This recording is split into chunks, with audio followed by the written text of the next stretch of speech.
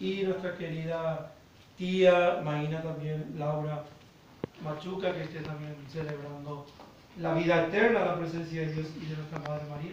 Y rece por todos nosotros desde el cielo.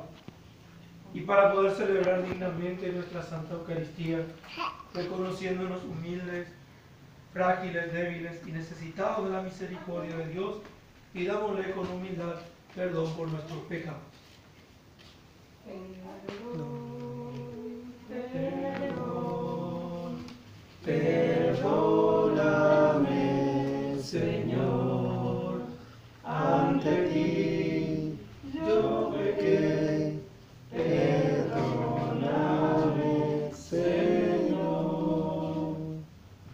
Señor, ten piedad de nosotros. Señor, ten piedad de nosotros. Cristo, ten piedad de nosotros. Cristo, ten piedad de nosotros. Señor, ten piedad de nosotros. Señor, ten piedad de nosotros.